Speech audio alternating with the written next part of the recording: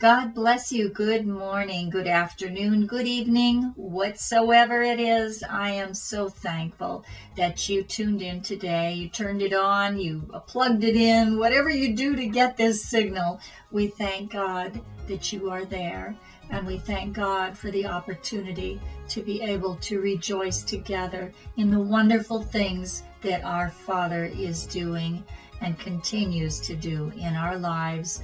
Uh, today, the Holy Spirit put on my heart to continue what we were talking about yesterday, only to take it to the next one. Uh, we were speaking about the nine gifts of the Holy Spirit. And uh, this came in from a request, uh, curiosity, to know that if a Christian can hold or possess all nine gifts, if God will give you all nine gifts. And we believe that he will, and he is fully able, and scripture backs this up because, um, but the manifestation of the Spirit is given to each one for the profit of all. For to one is given the word of wisdom through the Spirit, to another the word of knowledge through the same Spirit, to another faith by the same Spirit, to another gifts of healings by the same Spirit, to another the working of miracles, to another prophecy, to another discerning of spirits, to another different kinds of tongues, to another the interpretation of tongues. But one and the same Spirit works all these things, distributing to each one individually as he wills. 1 Corinthians 12, 7 through 11. So of course, the Lord is going to give you what he feels he what he has created you for. You know, uh, some people they're terrific at one thing, but they, you know, I, I always laugh and say I'm a jack of a lot of trades and a master at none because the only thing that I profess is Jesus is my Lord. And it's up to him whatever he wants to do through me and I am happy to do any job that the Lord gives me. And I am also thankful for all of the giftings that I have seen Him operate, not only through myself, but through many other people that I know. And I say the old story says in this scripture knock and keep on knocking, ask and keep on asking, and to all that knock, the door is will be opened. So today I want to move into the gift of prophecy and the gift of faith. Those two I want to hit on today. Hit on today. That sounds so bad, doesn't it? Crazy. Okay, I want first let's lift up our oil. We thank you, Father God, in the name of Jesus. You're so wonderful, Lord. We praise you. We give you all the glory. We thank you, Lord. Now be with us now. In the name of Jesus. And we thank you, Lord. And Lord, I want to lift up a few special uh, urgent prayer requests. I pray for Carlos that is still in the hospital, Lord. This is up to your hand. The doctors have give a bad report, but Father, you are the one that has the final report. so we speak to his brain from this trauma that happened in his head, Father, by a board hitting him in the head. And Lord, we speak that all the swelling would go down, that Holy Spirit, you would visit him in the room. Oh, Jesus, walk right in the room, heal him, touch him, and bring him back, Father, better than before, in the name of Jesus. We cover this with the blood.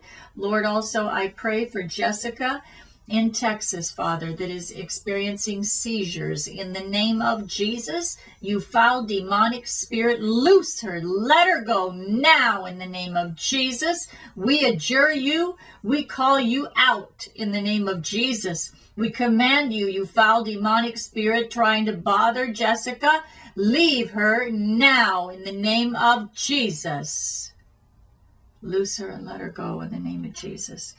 And we all said amen and amen. Um, okay, I want to welcome musically Keeley. I love that.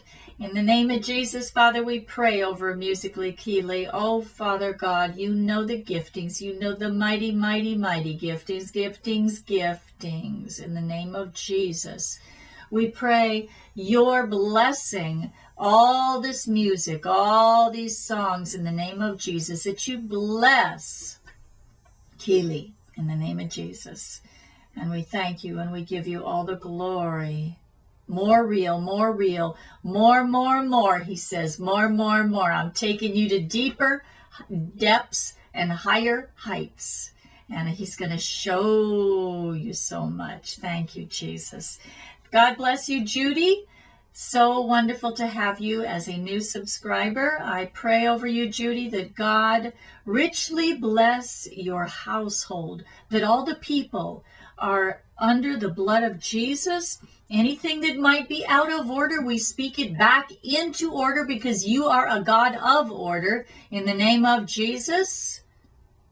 If there be any rebellious spirits, you know, and these are just crazy things that I, I feel the Lord is showing me that there are uh, crazy, you know, we all have things in our family, every one of us, that we rebuke all these bad spirits out constantly. We tell them to exit stage left and don't come back in the name of Jesus. So, uh, we just pray over you, Judy, that God blesses, blesses, blesses in the name of Jesus. Michael, God bless you. Are you a cowboy? Or is that a horse you're sitting on? what is that? Is it guitars? Do you make guitars? What do you do? That's uh, I can't really see the picture sort of small, but you are a person that is down to earth, grassroots, hands on kind of guy. You uh, love the Lord and you're i call it a blue collar worker you know actually you're a green collar worker you're out in the field there and i see god has blessed you with such wonderful giftings in the name of jesus we thank you for michael father now bless him bless him bless him every day of his life bless him and protect him and prosper him as well in the name of jesus okay I want to thank Cassie. God bless you. That's a cute little picture. And Tom, I see, wow. The word that really hits me is a crazy kind of thing. It's almost renegade, renegade, renegade. And, and all I mean that I, I, feel the Lord is showing me by that is that you are a, you're an uh, upfront, what you see is what you get kind of guy you're very sensitive to the Holy Spirit, but you could get out and wrestle with with a, a bear, and you could get out with the best of them, and and and uh, but you you love the Lord, and that is what I love the most. That is what I see, and that is what I love is is uh, when we see the Lord in the eyes. You know, I used to pray. Uh, I used to pray. That's a good one, right? I used to pray, and I still do. but anyway, um, you know, when I would go out and I would minister, and the Lord would tell me, He'd say, Go look in the mirror. I was like, What? Go look in the mirror? Well, you know, when you are in the presence of God in a strong way. It's like you are removed off of this planet. You you are walking in another dimension and people can see the Father in your eyes because the eyes are the mirror of the soul. We all know this. And anyway, God bless you, Cindy. You are a princess warrior for the Lord. God bless you, Marie, in the name of Jesus. God bless you, Christy. Just love the beautiful presence of the Lord that's all over you. Wow. Rosie, God bless you and so many others. Jamie, God bless you in the name of Jesus. Thank you, thank you, thank you. Okay, let's get into this. Um, the gift of prophecy.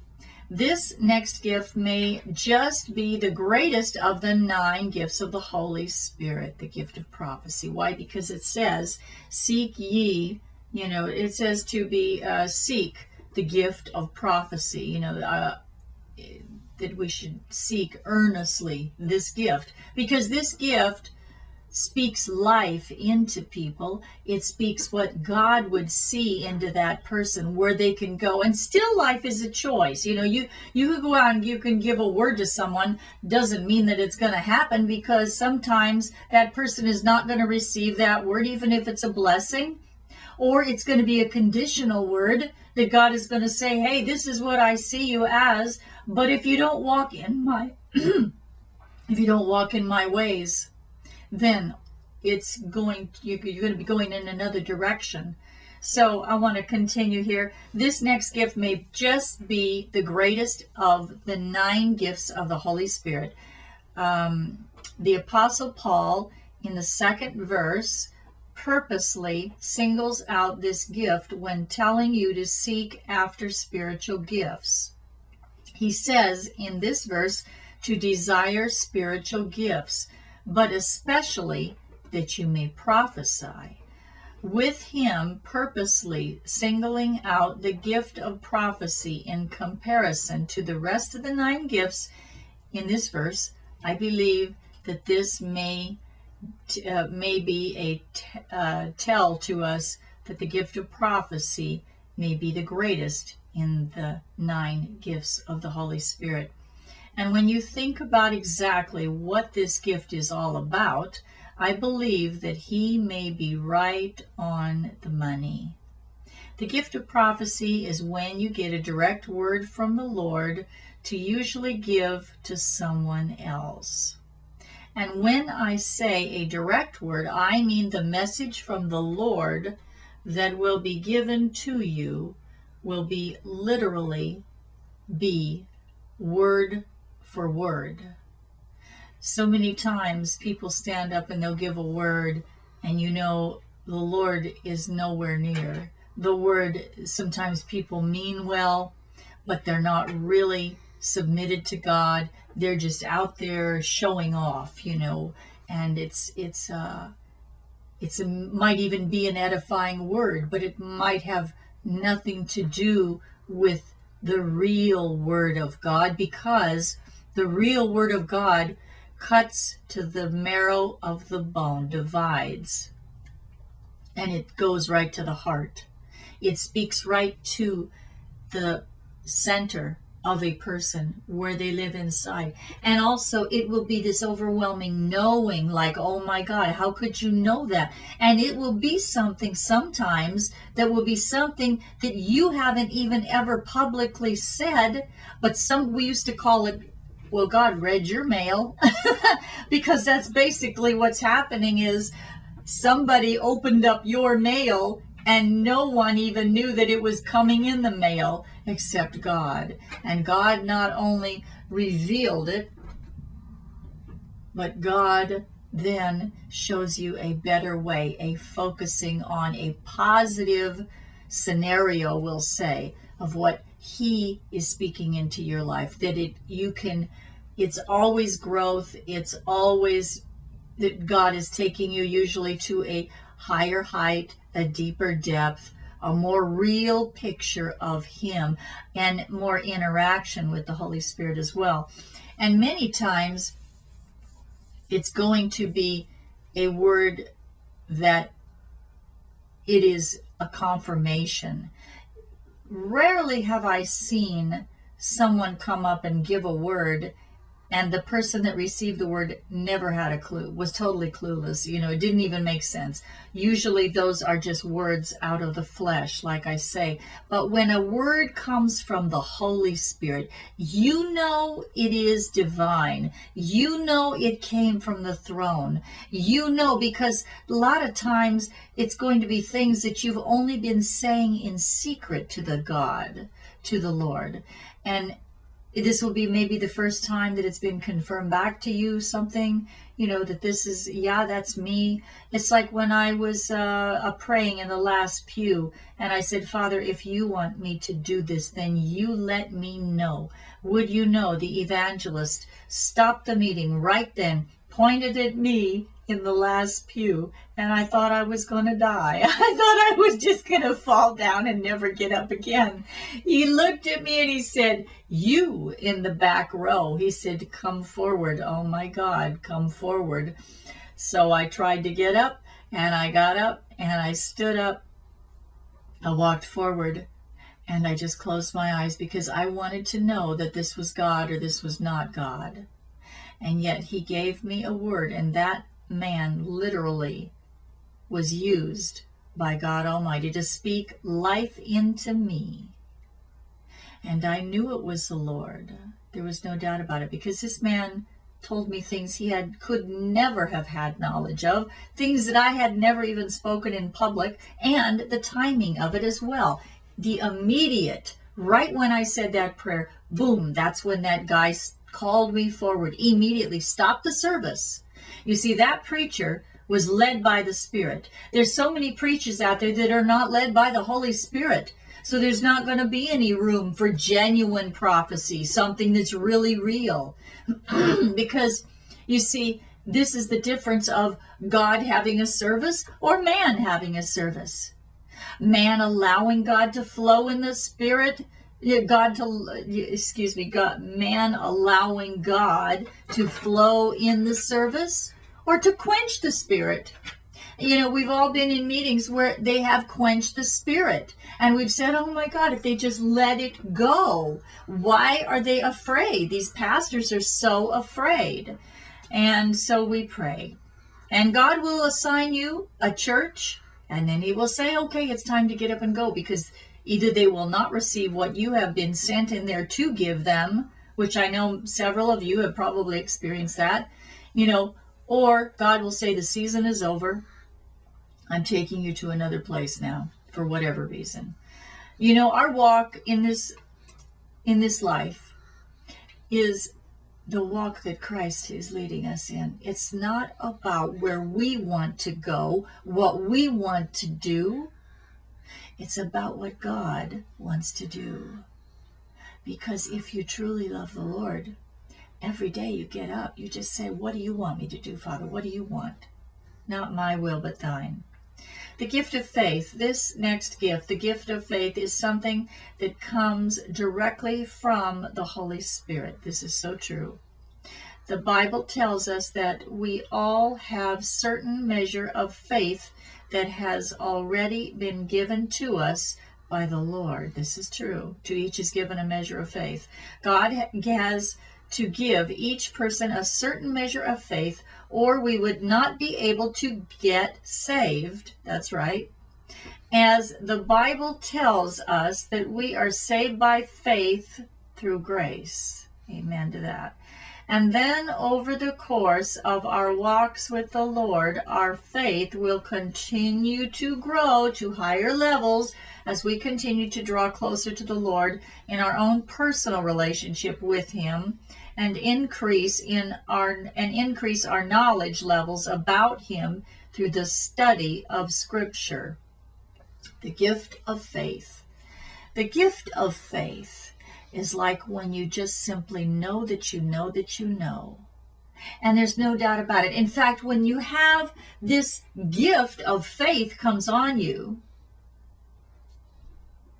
you see, you step over the line and you stop believing whatever man would say or what your your um, conscience would say, what your uh, man part of you would say. No, you stop. You totally stop all that thought pattern, and you take on the mind of Christ, and all of a sudden you are changed and you've stepped over that line and you say, now, no matter how ridiculous this sounds in the natural, how impossible it sounds, even if I'm not gifted in a certain thing that you've told me that you want me to do, Father, whatever you say, is the final word and i'm getting it's coming out of my hands right now because i know that's god totally 100% that somebody needs to hear this right now. You have been there's a decision that you've been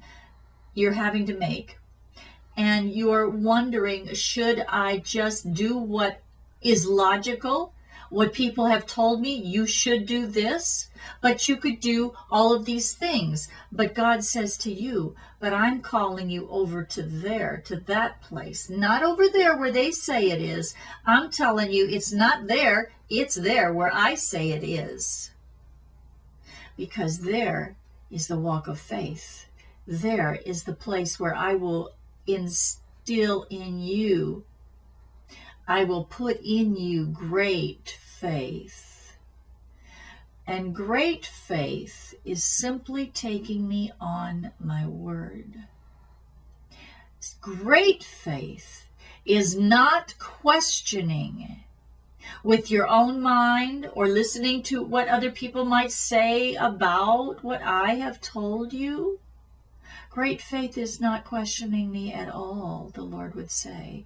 But great faith is saying, Yes, Father, I can't wait for that to happen. I've totally flipped my mind over any doubts. I've left them, and I'm saying, I totally believe you, Lord. And now you're in expectation of it.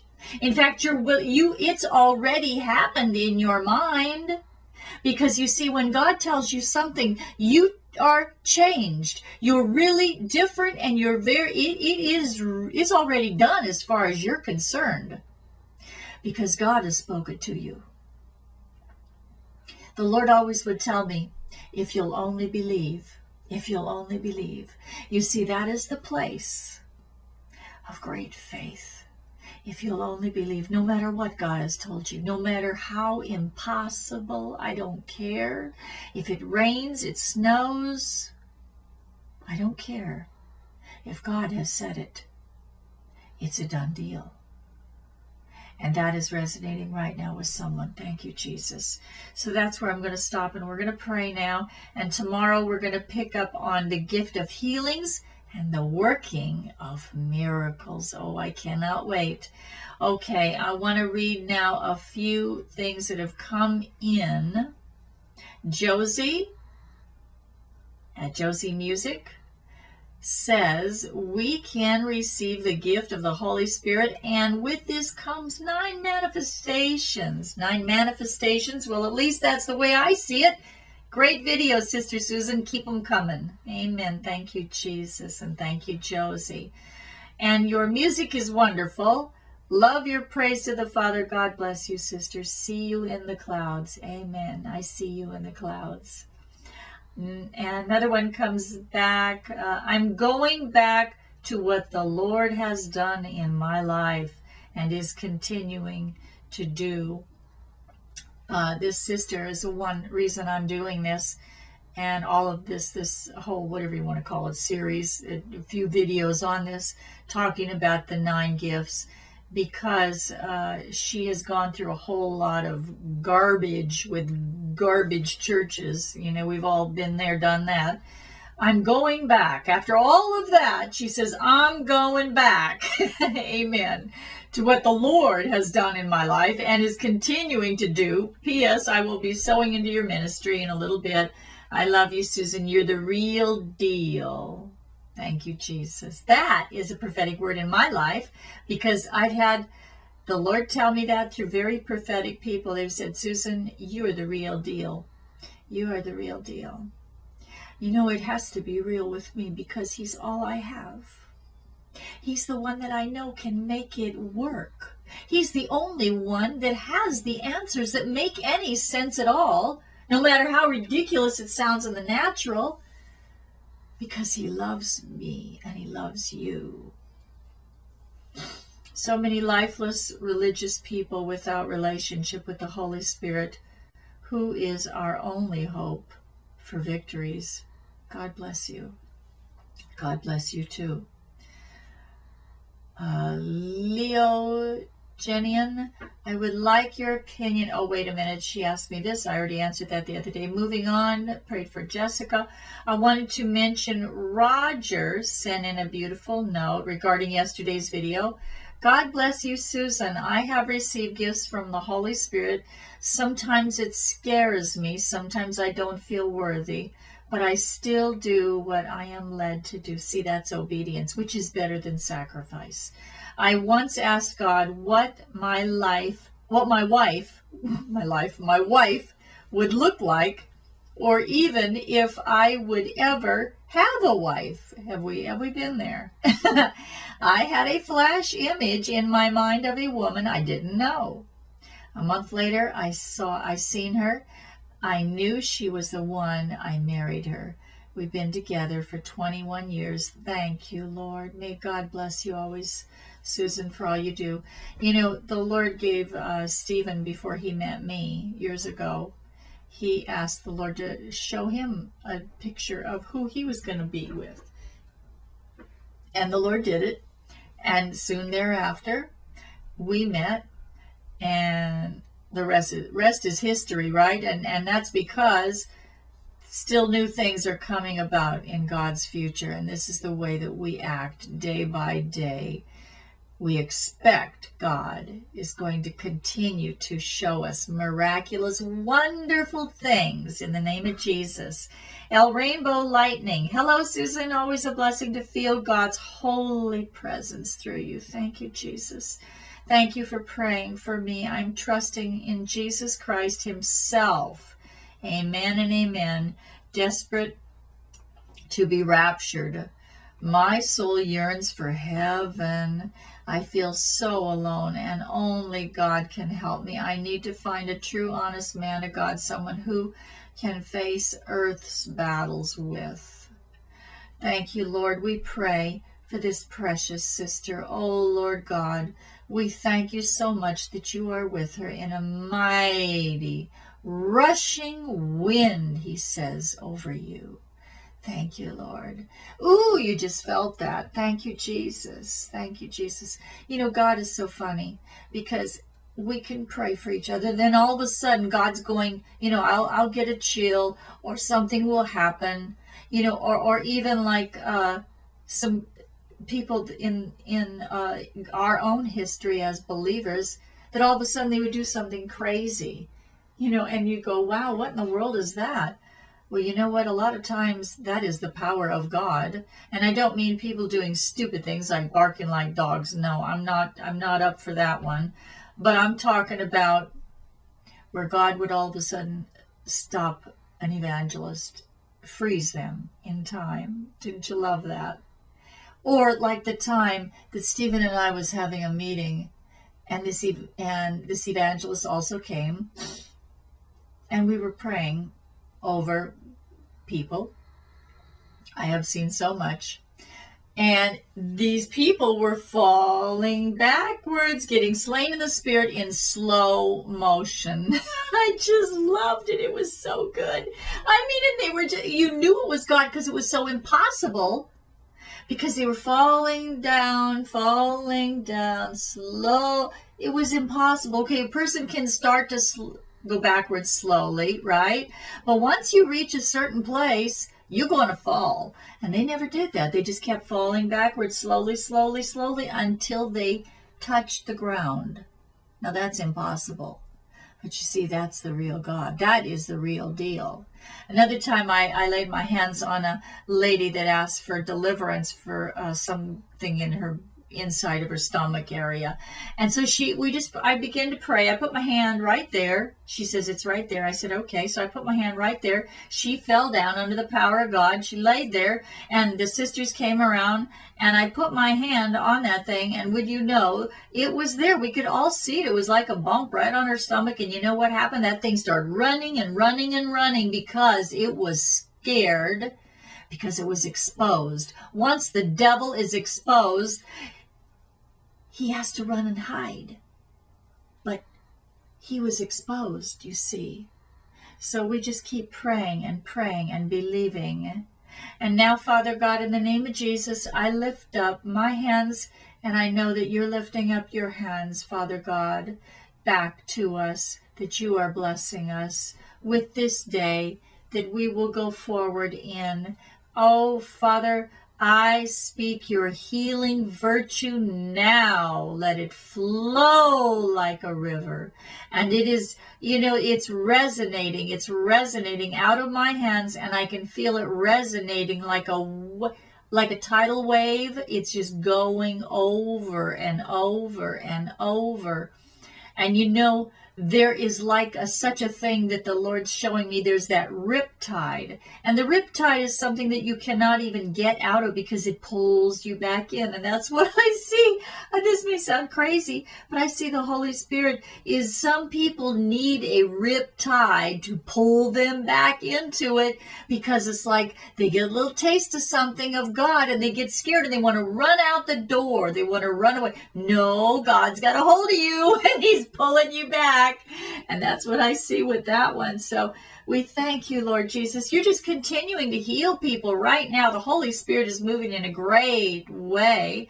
Just receive, receive, receive, for God Almighty is moving. Thank you, Jesus. It's your program, Lord. It's your program. It's not mine. It's yours, Lord. It's yours to do with whatever you want. We thank you as you're just flowing. He's just, he, you know, he is just really, really moving right now in a mighty way. Thank you, Jesus. Just receive, receive, receive whatsoever you need. Some are being baptized in a heavenly language right now in the gift of tongues. Some are receiving now the discernment of tongues. Some are now receiving the gift of healings. Some are receiving now the gift of discernment, discerning spirits. Some are receiving now the gift of prophecy. Yes, Lord. Yes, Lord. More, more, more. More, more, more. He says, more, more, more. I'm pouring all over you.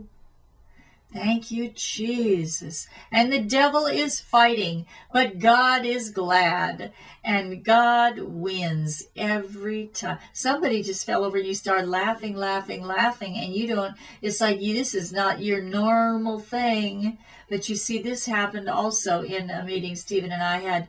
The people didn't even make it in the building because God was working his miracles through them before they ever even came. And there were so many witnesses of this. And these were serious people. These were not uh, people that, you know, would clown around normally. Nothing. God touched them. And God's doing it now. Thank you, Jesus. We thank you, Lord. We praise your name. We bless your name. We're just going to have a day of miracles one of these days. We're just going to call it out. We're just going to call it out for what it is and let God do everything he wants to do. We're just going to have a program, Father God, of miracles. And maybe that'll be one of these gifts that we get into, Father God in the name of Jesus that you will choose to do that, Lord. Oh, we praise you. We thank you. We thank you. We thank you. Now bless us, anoint us, appoint us as we go about our day. We love you, Lord, and we give you all the glory. Use us, use us, use us this day. In Jesus' name. Remember, you are the real deal. If you have that Holy Spirit in you, if you are a born again believer in Jesus, ask and you will receive. He will give it to you. He's no respecter person. Just look up and say, Father, I want it. All of it. I want all nine gifts. Be careful what you ask for. In Jesus' name, I love you. Thank you for your praise reports, your prayer requests. Please keep them coming in so we can lift you up before the Lord. Those that have ordered oh, the oil, it is going out tomorrow again. And uh, we thank you, Father God, for those that have given to the ministry financially, let it return 1,000 fold in every way, Lord. Jobs, jobs, jobs, he says, are on the way. Somebody and several ones are looking for work. God says, ask me. I'm going to show you which one it is in Jesus' name. I love you. Have a blessed day with the Lord in Jesus' name.